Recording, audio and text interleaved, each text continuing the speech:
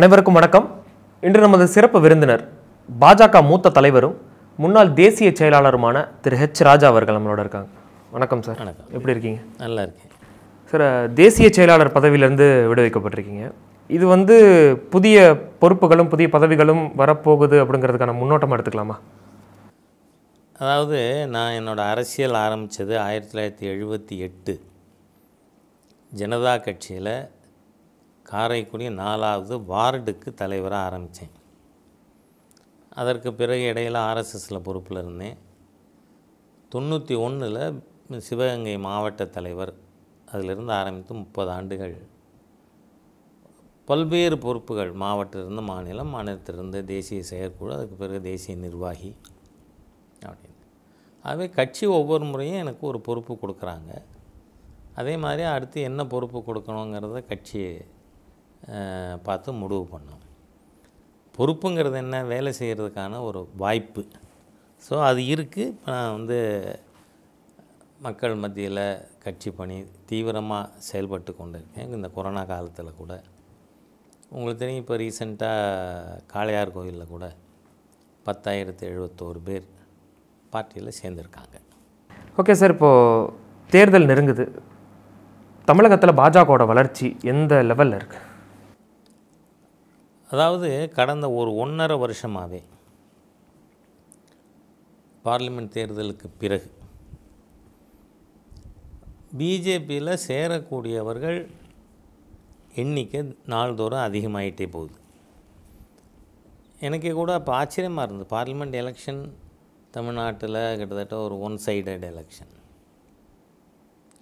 அதற்கு பிறகும் மக்கள் வர ஆரம்பிக்கிறாங்க.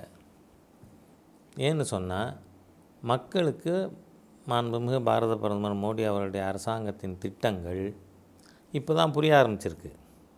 பல்வேறு திட்டங்கள் அவங்களுக்கு பயன் கிடைத்திருந்தாலும் அது மத்திய அரசாங்கத்தோடது மோடி சர்க்காரோடது அப்படிங்கிறது புரியறது கொஞ்சம் டைம் ஆயிடுது அதனால் இப்போ புரிய ஆரம்பித்ததுனால மக்கள் அது வந்து உங்களுக்கு கழிவறை இல்லாத வீட்டுக்கு கழிவறையாக இருக்கலாம். கேஸ் கனெக்ஷன் இல்லாத வீட்டுக்கு கேஸ் கனெக்ஷன் அதே மாதிரியாக போன பார்லிமெண்ட் தேர்தல் சமயத்தில் தான் கிசான் சம்மான் நிதி.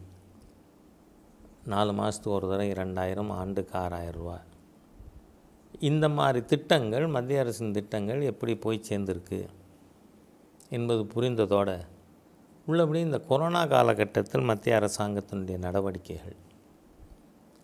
உலக நாடுகள் பூரா தவித்து தத்தளித்து கொண்டிருக்கிற நேரத்தில் சரியான நேரத்தில் சரியான முடிவுகள் மூலமாக இவ்வளோ பெரிய நாட்டில் நாம் ஓரளவுக்கு கட்டுக்குள் கொண்டு.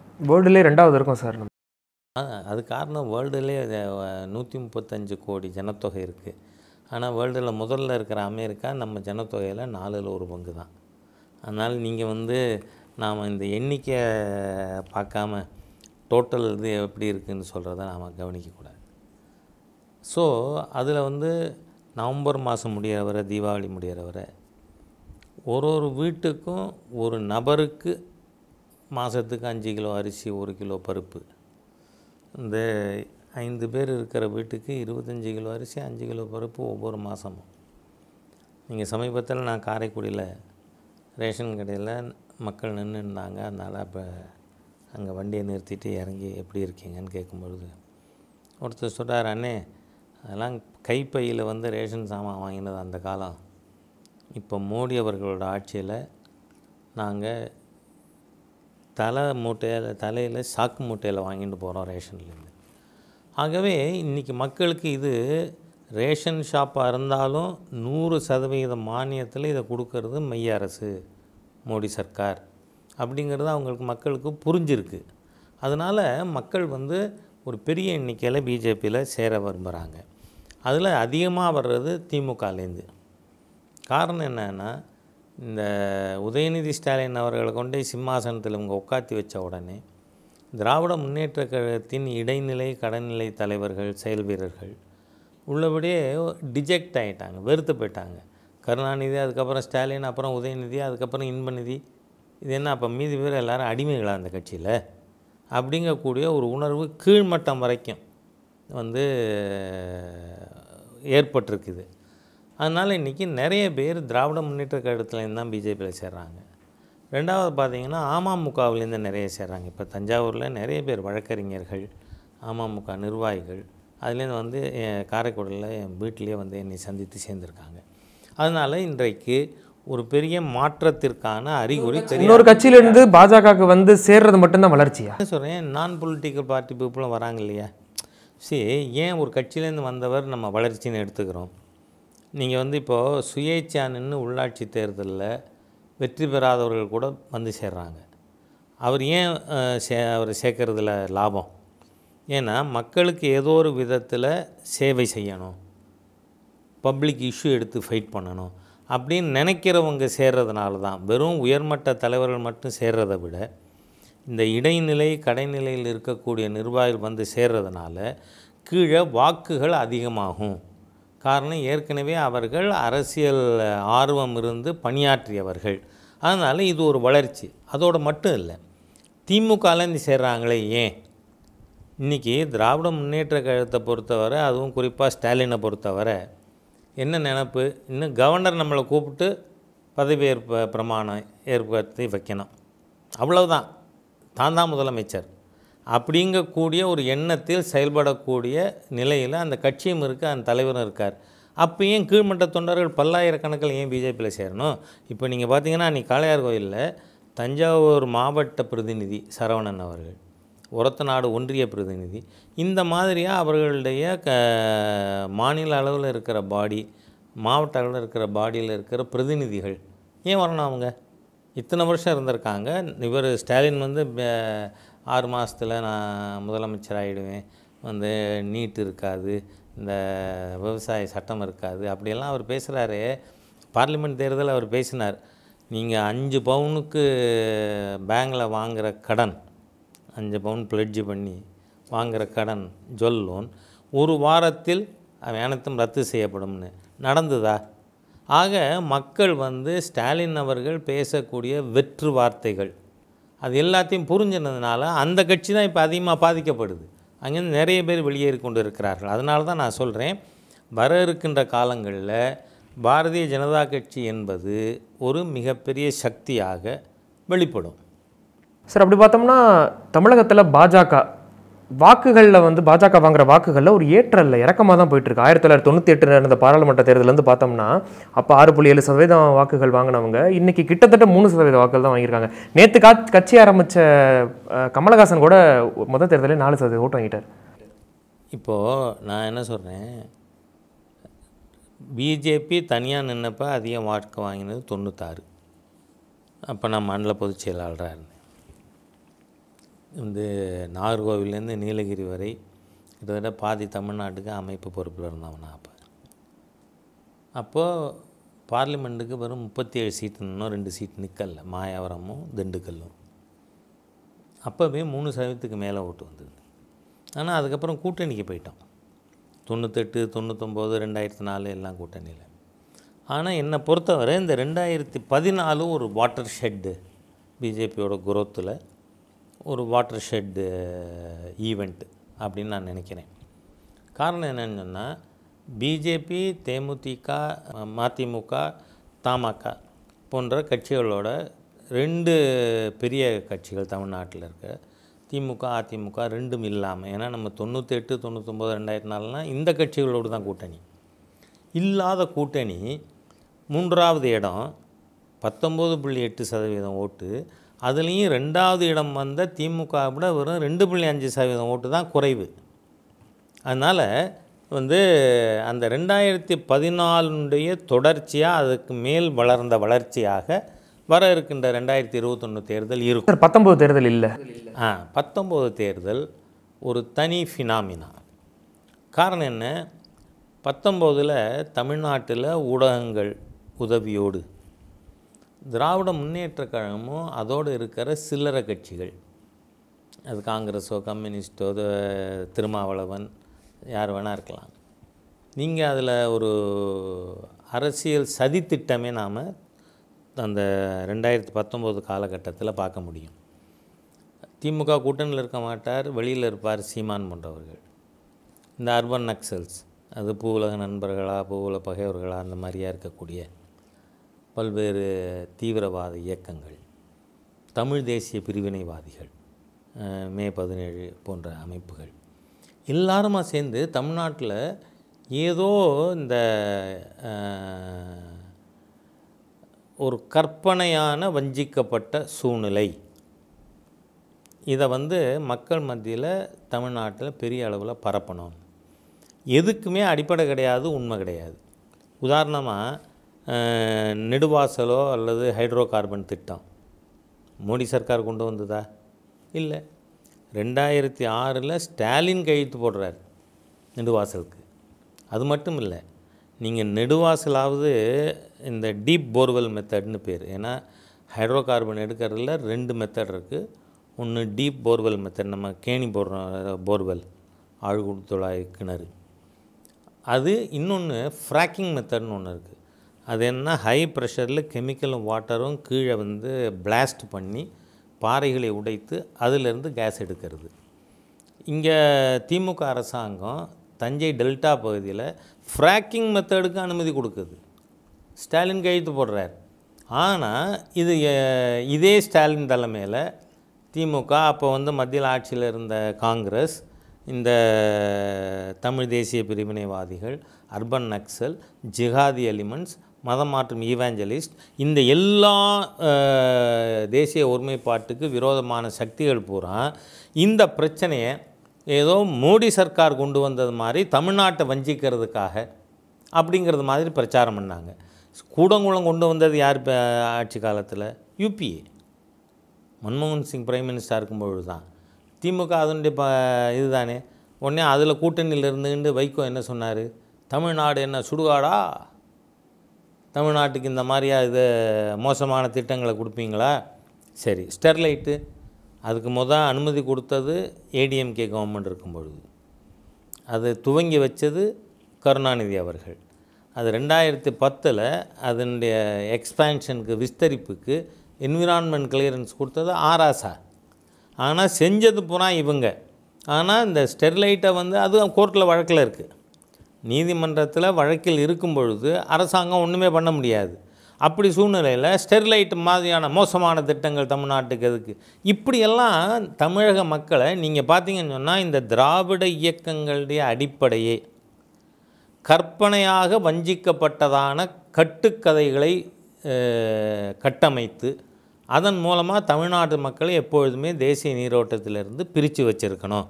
அப்படிங்கிறதுனால இந்த பிரச்சாரம் ஊடகங்களின் துணையோடு மிகப்பெரிய அளவில் பண்ணி அதுலேயும் என்னென்ன இது பண்ணிட்டாங்க? மோடி அவர்கள் திருப்பி வரமாட்டார். ராகுல் காந்தி பிரதமர் ஆவார். தமிழ்நாட்டுடைய விவாதங்களே அப்படி தான் இருந்தது. வந்து மாதம் ஆறுரூவா வருஷம் எழுபத்தி ரெண்டாயிரரூவா ஒரு குடும்பத்துக்கு சாத்தியமா? சாத்தியம். ஒரு குடும்பத்தில் அஞ்சு பேர் ஆளுக்கு அஞ்சு அஞ்சு பவுன் நகை கடன் வச்சுருக்காங்களா? அதை தண்ணி ரத்து பண்ணிவிடுவோம் அது சாத்தியமா? சாத்தியம். இப்படி தான் தினந்தோறும் விவாதங்கள்.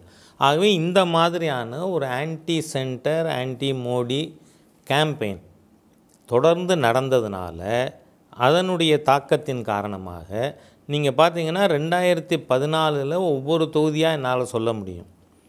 பிஜேபி வாங்கிய வாக்குகளில் அதிகமான வாக்குகள் சேரவே இல்லை. உதாரணமாக நான் தென் சென்னையே சொல்கிறேன் உங்களுக்கு. ரெண்டாயிரத்தி பதினாலில் தென் சென்னையில் திரு இலா கணேசன் அவர்கள் பிஜேபியினுடைய வேட்பாளர். அவர் வாங்கினது ரெண்டு லட்சத்து ஐம்பத்தி ரெண்டாயிரம் ஓட்டு. அப்போ அங்கே நின்று வெற்றி பெற்றவர் அதிமுக வேட்பாளர். அவர் வாங்கினது நாலு லட்சத்தி சொச்சம். ஆனால் ரெண்டாயிரத்தி பத்தொம்போதில் இந்த ரெண்டு ஐம்பத்தி ரெண்டோட வெறும் ஐம்பதாயிரம் ஓட்டு தான் சேருது. அதிமுகவுடைய அதே சிட்டிங் எம்பி தான் ஜெயவர்தன் நிற்கிறாரு அப்போ அவர் வாங்கின ஓட்டு பார்த்திங்கன்னா மூணு லட்சத்து ரெண்டாயிரம் தான்.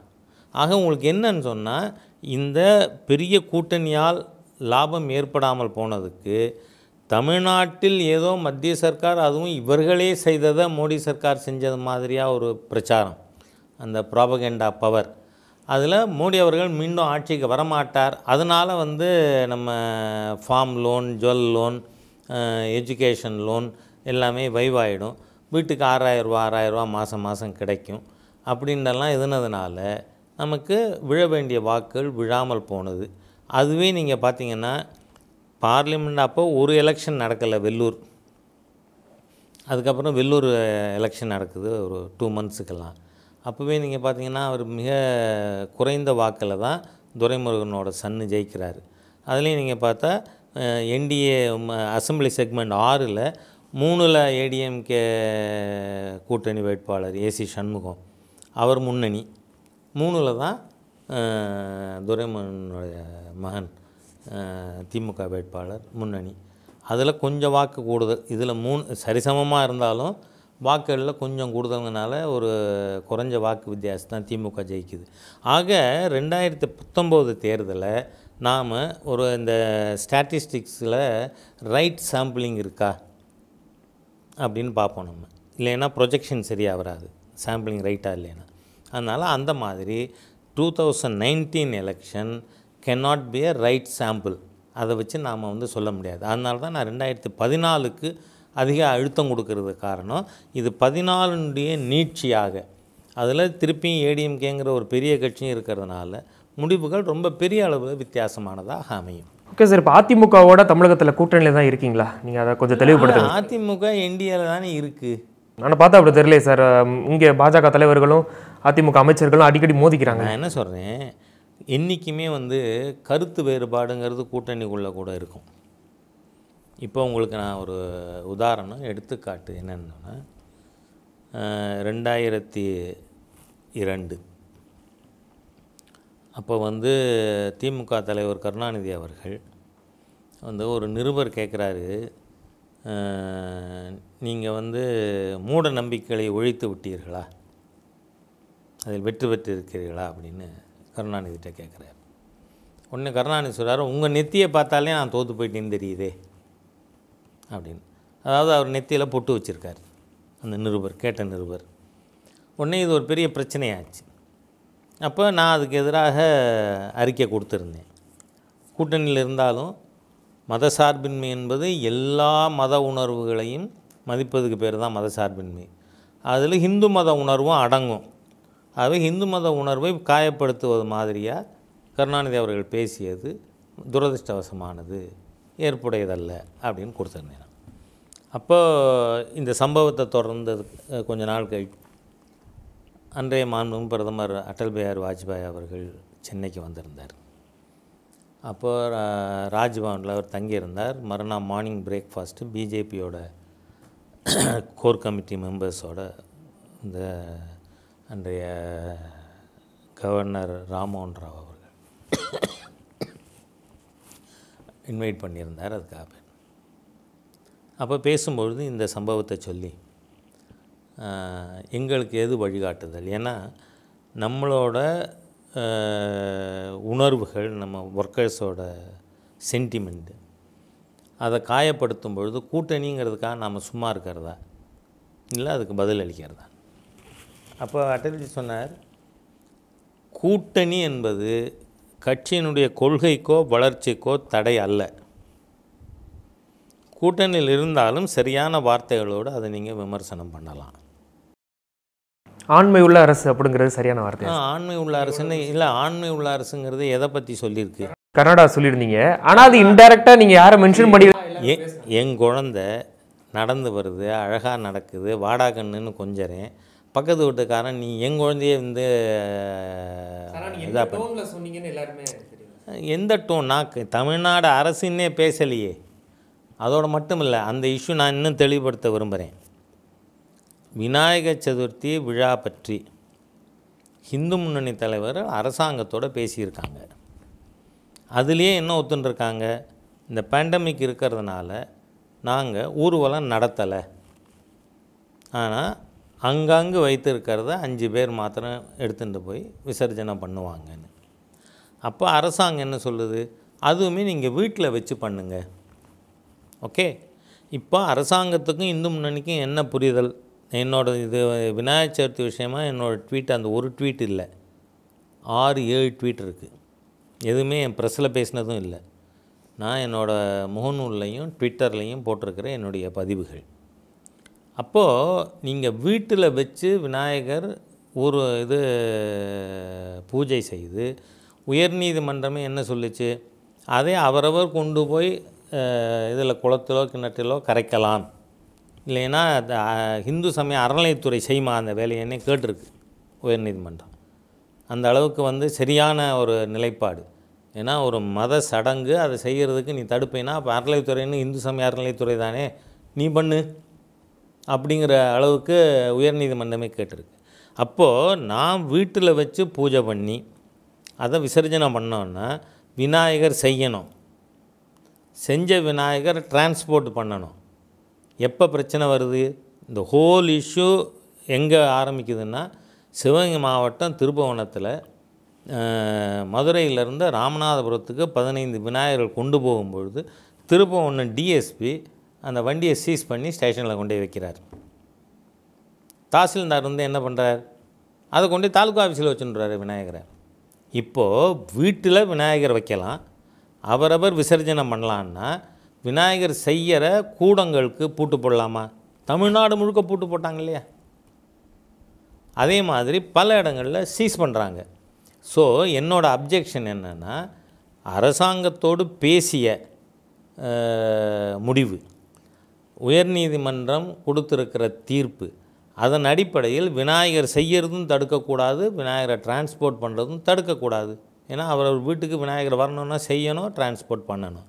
ரெண்டாவது குலாலர் சமுதாயத்தைச் சேர்ந்தவர்கள் கைவினைஞர்கள் இந்த நவராத்திரி விநாயகர் சதுர்த்தியை நம்பி தான் அவங்களோட ஓராண்டு இல்லைங்க. வாழ்க்கையும் ஒரு கேள்விக்குரியதா இருக்கு வேலை இழந்திருக்கு. நான் என்ன சொல்கிறேன் இப்போ வந்து டாஸ்மாக் திறந்து வைக்கலையே இல்ல சார் நம்ம இப்படி கேட்டா நம்ம அப்படி கேட்டா அப்படி இல்லை அப்படி இல்லை. இல்லை அதுக்கு தான் சொல்கிறேன் நான். பேண்டமிக் இருக்குன்னா உற்பத்தி பண்ணுற இடத்துல உற்பத்தி பண்ணுறது எல்லா இடத்துலையும் எல்லா தொழிற்சாலைகளும் ஐம்பது சதவீதம் ஆட்களோட உற்பத்தி பண்ணலாம்னு அனுமதி கொடுத்துருந்ததா இல்லையா இப்போ கொடுத்துருந்ததில்ல அது விநாயகர் கோ- இது செய்யக்கூடிய கூடங்களுக்கும் பொருந்தும் தானே. அப்போ அதை சீல் வைக்கக்கூடாது தானே. சரி டிரான்ஸ்போர்ட் பண்ணுறத அத்தியாவசிய பொருட்கள் கூட டிரான்ஸ்போர்ட் பண்ணுறோம் இது எதுக்கு சீஸ் பண்ணுறது அதனால் என்னோட அப்ஜெக்ஷனே அந்த கூடங்களுக்கு சீல் வச்சதும் டிரான்ஸ்போர்ட் பண்ணுற விநாயகரை சிறைபிடித்ததும் தான். அதனால் அதைத்தான் அட்ரஸ் பண்ணணுமே ஒழிய வந்து நான் கர்நாடகாவை பற்றி புகழ்ந்து பேசுகிறத வந்து யாரும் எதிர்ப்புகள் வந்துச்சு சார் உங்களுக்கு? வரட்டுமேங்கிறேன் சைடுல இல்லை நான் என்ன சொல்கிறேன் யார் ஏடிஎம்கே சைட்லேருந்து எதிர்ப்பு? சைடுல இருந்து ஏடிஎம்கே சைடுல இருந்து பயங்கரமான எதிர்ப்புகள் வந்துச்சு. நான் என்ன சொல்கிறேன் யார் ஏடிஎம்கே சைட்லேருந்து எதிர்ப்பு ஏடிஎம்கே ஐடி விங்லாம் பயங்கரமான எதிர்ப்புகள். என் பக்கத்தில் நியாயம் இருக்கா? நியாயம் இருந்தால் அந்த கருத்தை ஏன்னா அசத்தியம் அநீதி அடக்குமுறைக்கு அடிபணிவது கோழைத்தனம் என்று மகாத்மா காந்தி சொல்லியிருக்கார். அதை நான் என்றைக்குமே முழுசாக ஏற்றுக்கொண்டவன். ஆகவே இந்த அசத்தியம் அநீதி அடக்குமுறைக்கு ஒரு காலம் ராஜா அடிபணிய மாட்டான். அதிமுக முதல்வர் வேட்பாளர் எடப்பாடி பழனிசாமி இதை பாஜக ஏத்துக்குதா? தமிழக பாஜக. நான் என்ன சொல்கிறேன் ஏடிஎம்கேலாம் அவர்களுடைய முதல்வர் வேட்பாளர் முடிவு பண்ணியிருக்காங்க. அப்படி சொல்லலையே கே. பி. என்ன சொல்றாருன்னா அதிமுக கூட்டணி முதல்வர் அப்படிங்கிறாரு. நான் என்ன சொல்கிறேன் அவங்க சூஸ் பண்ணியிருக்காங்க. இதை நம்ம டாக்டிக்கலாக பார்க்கணும். இன்றைக்கி டிஎம்கே என்ன எதிர்பார்த்தது? வெட்டு குத்து நடக்கும். ரெண்டு ஆடு மோதிக்கும். ரத்தம் கொட்டும். அதை நான் குடிக்கலாம்னு நரி காத்து கிடக்கு. அது எல்லாமே வந்து ஏதோ கனவு கண்டது மாதிரி ஸ்டாலினுக்கு ஆகிருக்கு அதிமுகவில் தெர் இஸ் நோ சிஷன் அவர் வந்து பிளவு இல்லாமல் இது பண்ணியிருக்காங்க நம்ம கூட்டணி கட்சி. அதனால் நான் வந்து பகிரங்கமாக பத்திரிக்கையாளர் கூட்டத்திலே இபிஎஸ் அவர்களுக்கு வாழ்த்தை சொல்லியிருக்கேன். கலந்துரையாடினாங்களா? கூட்டணி கட்சிகளோட கலந்துரையாடி தான் அறிவிச்சாங்களா? என்ன சொல்கிறேன் அந்த மினிஸ்ட்ரி ஃபார்மேஷன் மினிஸ்ட்ரியில் பார்ட்டிசிபேஷன் வரும்பொழுது தான் இதெல்லாம் நடக்கும். அந்த ஸ்டேஜ் வரல இன்னும். அதனால் அதை அப்போ பேசிக்கலாம். பொன்னரோட கருத்து எப்படி சார்? என்னை பொறுத்தவரை நான் வந்து கட்சிக்குள்ளே இருக்கிற ஒரு சக நிர்வாகியோட கருத்துக்கு இன்றைக்கின்னு இல்லை. இன்னி வரை என்னைக்காவது சில சமயம் நான் சொன்ன கருத்துக்கு கூட மற்றவர்கள் கருத்து சொல்லியிருப்பாங்க. ஆனால் இன்னி வரை என்னைக்காவது என்னோட சக நிர்வாகிகளோட கருத்துக்கு பதில் சொல்லியிருக்கேனா இருக்கு. இல்ல, இருங்க. மத்த தலைவர்கள் ஒரு கருத்து சொல்றாங்க. அந்த கருத்துக்கு எங்களுக்கு சம்பந்தம் இல்லைன்னு ஒதுங்கி இல்லை இல்லை நான் ஒதுங்கலை. நான் நான் ஒதுங்கலை. நான் என்ன சொல்கிறேன் அதுக்கு நான் கருத்து பேசுறதுன்னு சொன்னால் தனியாக பேசணும். அதுக்காக தான் உங்களுக்கு நான் சொல்ல வரேன். இன்று வரை பொன்னார் மாத்திரம் இல்லை எந்த ஒரு நிர்வாகியும் பேசியிருக்கிற கருத்துக்கு சில சமயங்களில் சிலர் நான் பேசின கருத்தே கூட சொந்த கருத்துன்னு சொல்லியிருக்கலாம். ஆனால் அந்த மாதிரி நான் சொல்லியிருக்கேனா? அதனால் நான் என்ன சொல்கிறேன் என்னுடைய கருத்து என்னவாக இருந்தாலும் ஒரு கலீக்ஸுக்கு மத்தியில் பர்சனலாக தான் கம்யூனிகேட் பண்ணணும் ஒன்று ரெண்டாவது தொடர்ந்து பல ஆண்டுகளாக நான் சொல்லி வர்றது கூட்டணி பற்றி என்றைக்குமே நான் கருத்து சொல்ல மாட்டேன். காரணம் BJP is an all India party கூட்டணி பற்றி முடிவு செய்ய வேண்டியது பார்லிமெண்ட் போர்டு அதனால் அவர்கள் என்ன முடிவெடுத்தாலும் அதை செயல்படுத்துறது தான் நம்ம கடமைங்கிறது. இங்கே நான் நான் என்ன சொல்கிறேன் அகில இந்திய தலைமை என்ன முடிவு செய்கிறதோ நான் எந்த இதுவுமே கூட்டணி பற்றி பேச மாட்டேன். இன்றைக்கின்னு இல்லை. என்னோடய பேட்டிகள் நீங்கள் ஒரு பத்து வருஷத்து பேட்டிகள் கூட பாருங்கள் கூட்டணி பற்றி எந்த கருத்தும் சொன்னது கிடையாதுன்னா சொல்ல மாட்டேன். ஆல் இண்டியா பார்ட்டி எடுக்கிற முடிவுக்கு கட்டுப்பட்டு செயல்பட வேண்டியது மற்ற நிர்வாகிகளோட கடமை. அவ்வளவுதான். ஆனா தமிழகத்துல திமுகவோட கூட்டணி வைக்கிறதுக்கு பாஜக பயங்கர உணர்வு காட்டுதுன்னு கருத்தெல்லாம் போகுது? கருத்தெல்லாம் வந்து அதுக்கு நான் பதில் சொல்ல முடியுமா? பல பேரோட கற்பனைகள். ஏன்னா நீங்க பொன்னார் ஓப்பனாவே நியூ நியூஸ்ல சொல்லிட்டாரு. நாங்க திமுக கூட்டணி கூட என்ன என்- என்னை பொறுத்தவரை இந்த திராவிட இயக்கங்கள் கட்டமைத்திருக்கின்ற பிரிவினை சித்தாந்தம் பிளவு சித்தாந்தங்கள் அந்த கட்டமைப்புகள் இது வேரோடு சாய்க்கப்பட வேண்டியதுங்கிறது நான் சொல்கிறது திக திமுகலேருந்து துவங்கி அவங்க கட்சி பேர் இருக்கலாம். நான் திராவிட ஐஎம் திராவிடியன்.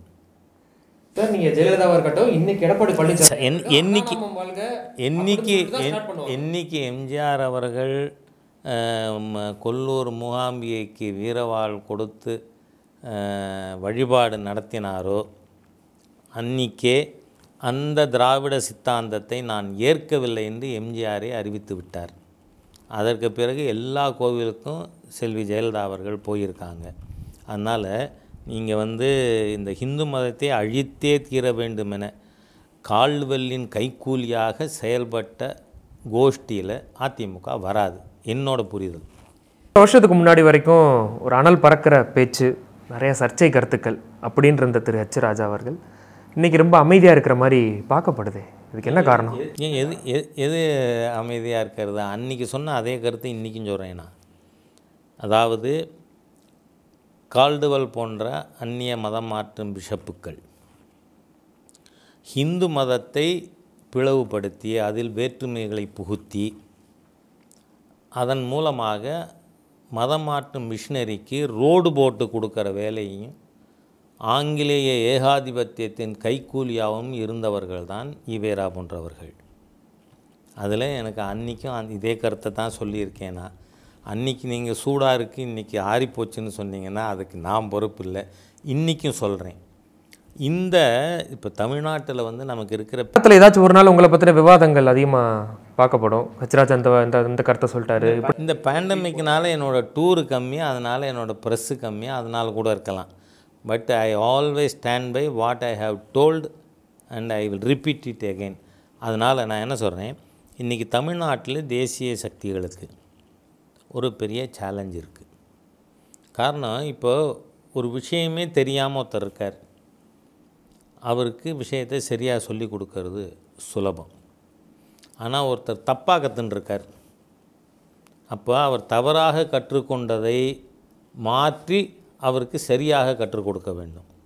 இங்கே தமிழ்நாட்டில் அதனால தான் சில கிட்டத்தட்ட ஓராண்டுக்கு முன்னாடி கூட கால்டுவெல்லின் பொய்யுரையும் பிழையுரையும் அப்படின்னு ஒரு புத்தகம் உமரி காசிவேல் அவர்கள் எழுதின புஸ்தகம் நான் பல ஆண்டுகளாக பேசி வந்த விஷயங்கள். அவர் உமரி காசிவேல் அவர்கள் புத்தக வடிவில் அதை பிரசுரம் பண்ணார் அதை நான் தான் வெளியிட்டேன். அதில் இந்த கால்டுவலில் சொன்ன இந்த கம்பேரிட்டிவ் கிராமர் ஒப்பிலக்கணம் இது எல்லாமே பொய் பித்தலாட்டம். அவர் முத முதல்ல வந்து இந்த ஹியூமன் மைக்ரேஷன் நீங்கள் இன்றைக்கி பார்த்தீங்கன்னா இந்த ஹியூமன் மைக்ரேஷன் பற்றி it's a very voluminous subject எத்தனை ஜனத்தொகை இருக்கோ அதை விட அதிகமாக மைக்ரேஷன் தியரி இருக்குது முதல்ல ஆஃப்ரிக்காவில் தான் மனித இனம் தோன்றித்தா? அப்படி தான் பெருவாரியாக வெஸ்டர்ன் தியரி சொல்லுது. ஆனால் எல்லா விதத்திலும் நிரூபிக்கத்தக்க மக்கள் முதல் முதல் தோன்றி வாழ்ந்ததுன்னா அது இந்த பாரத வருஷத்தில் தான் இது பல்லாயிரக்கணக்கான வருஷங்களுக்கான ஆதாரங்கள் இருக்குது ஆனால் இங்கே என்ன பண்ணுறாங்க முத முதல்ல கால்டவில் எழுதின புஸ்தகமே இது first book Shanars of Tirunelveli அது தமிழாக்கம் கூட வந்தது. திருநெல்வேலி சாணார்கள். தேசியத்தில் நம்பிக்கை இருக்கின்ற தென் தமிழ்நாட்டில் இருக்கக்கூடிய நாடார் சமுதாய மக்களை பற்றின புஸ்தகம் அது. அவர்கள் இந்தியர்கள் இல்லை. தமிழர்கள் இல்லை. அவர்கள் சிங்களவர்கள். அங்கிருந்து இங்கு மைக்ரேட் ஆகி வந்தாங்க. அதற்கு நாடார் சமுதாய மக்கள் மிகப்பெரிய அளவில் இது இதெல்லாம் அந்த உமரி காசிவேல் அவர்களுடைய கால்டுவெல்லின் பொய்யுரை பிழையுரை. அந்த புஸ்தகத்தில் நான் இது வந்து பல ஆண்டுகளாக பொது மேடையில் பேசி வந்தது. இப்போ அவர் புஸ்தகமாக போட்டிருக்காங்க. நீங்கள் அப்போது பெரிய எதிர்ப்பு வந்த பிறகு கால்டுவெல் அந்த புக்கை இ- இனிமே பதிப்பிக்கலை. அப்படின்னு. அதே மாதிரி தான் ஆரியன் இன்வேஷன் தியரி ஆரிய படையெடுப்பு என்பது நடந்ததா? டாக்டர் அம்பேத்கர் தெளிவாக சொல்கிறார் the myth of are the right place for the myth of Aryan invasion is the dustbin இந்த ஆரிய படையெடுப்பு என்கின்ற கட் கற்பனை கட்டுக்கதை மித்து அதுக்கு சரியான இடம் குப்பை தொட்டி தான் சொல்லியிருக்கார். ஆகவே நீங்கள் அந் இதுதான் சொன்னேன் நான் இந்த ஈவேரா போன்றவர்கள் அந்த கட்டுக்கதைகளை வைத்து தமிழ் மக்களை முட்டாள்களாக்கி ஒரு விஷயத்தை நான் ஒப்புக்கொள்கிறேன் நிறைய தமிழர்களின் மூளையை குப்பை தொட்டியாக மாற்றுறதில் இவர்கள் வெற்றி பெற்று விட்டார்கள். அது நாம் ஒத்துக்க தான் வேணும். ஆனால் இந்த ஈவேரா யார்? ஆயிரத்தி தொள்ளாயிரத்தி நாற்பத்தி நாலில் சேலத்தில் முதல் தீக்கா மாநாடு. அதில் ஈவேராவோட தலைமையில் சிஎன் அண்ணாதுரை ஒரு தீர்மானம் கொண்டு வர்றார். வெள்ளையன் வெளியேற வேண்டுமாம் காந்தியார் சொல்லுகிறார். காந்தியாருக்கு நல்ல பைத்தியம் எடுத்திருக்கிறது வெள்ளையன் காந்தியாருக்கு வைத்தியம் செய்வதற்கு கூட இங்கிலாந்து தேசத்திலிருந்து தான் வைத்தியரை வரவழைக்க வேண்டும். வெள்ளையன் வெளியேறிவிட்டால் விஞ்ஞானம் வெளியேறிவிடும் கார் ஓடாது பஸ் ஓடாது தபால் தந்தி இருக்காது இந்தியாவால் ஒரு குண்டூசியோட தயாரிக்க முடியாது. ஆகவே வெள்ளையன் இந்தியாவை விட்டு வெளியேறக்கூடாது. அப்படியே வெளியேறுவதாக இருந்தால் லண்டனில் இருந்து கொண்டாவது சென்னை ராஜதானியை ஆள வேண்டும். இது தீர்மானம். இது தேச விடுதலை போராட்டத்துக்கு துரோகமாக இல்லையா? இதை அன்றைக்கும் சொன்னேன் இன்றைக்கும் சொல்கிறேன் அதனால் என்னோடய கருத்தில் மாற்றம் கிடையாது. காரணம் என்னோடய கருத்து கற்பனையானது அல்ல. எல்லாம் ஆதாரத்தின் அடிப்படையில். இந்த நாட்டில் பதிவு செய்யப்பட்ட சரித்திரம் ஆயிரத்தி தொள்ளாயிரத்தி நாற்பத்தி நாலு தீக்காவுடைய மாநாடு. அதில் போட்ட தீர்மானம். இந்த தீர்மானத்தை அப்படியே வெர்பாட்டியும் போட்டு கண்டித்ததுனால அன்னைக்கு ஹிந்து பத்திரிகையை மவுண்ட் ரோட்டில் தீகாக்காரங்க கொளுத்துனாங்க. இந்த சம்பவங்கள் நடந்திருக்கு. அவங்க பொய் சொல்லுவாங்க பித்தலாட்டம் பண்ணுவாங்க வெள்ளைக்காரனுக்கு கைக்கூலியாக இருப்பாங்க. ஆனால் அதையெல்லாம் சொன்னால் வந்து அவங்க மேலே கோவப்படுவாங்க. இந்த மாதிரியாக இருக்கிறதெல்லாம் நம்ம ஏற்றுக்கொள்ள முடியாது. அதனால் இந்த கருத்துக்களில் எனக்கு மாற்றம் கிடையாது. இப்போவும் நான் என்ன சொல்கிறேன் இந்த மாதிரி தவறான சரித்திரங்கள் நீங்கள் பார்த்தீங்கன்னா தமிழ் பாரம்பரியம் பண்பாடு தொன்மை இதெல்லாம் என்றைக்கு ஆரம்பிக்குது? தமிழனோட சரித்திரம் என்றைக்கு ஆரம்பிக்குது? ஆயிரத்தி எண்ணூற்றி முப்பத்தெட்டு கால்டுவல் வந்ததுக்கப்புறமா ஏன்? ராஜராஜ சோழன் காலம் என்ன? அதுக்கு முன்னாடி தமிழ்ச்சங்க காலம் என்ன? நீங்கள் முதல் தமிழ்ச்சங்கம் இடைத்தமிழ்ச்சங்கம் கடைத்தமிழ்ச்சங்கம் இது பல நூற்றாண்டுகள் காலகட்டம். இது சிலப்பதிகார காலத்துக்கு முன்னாடி. இந்த சிலப்பதிகார காலங்கிறது இரண்டாயிரம் ஆண்டுகளுக்கு இரண்டாயிரத்து நூறு ஆண்டுகள் கிட்டத்தட்ட.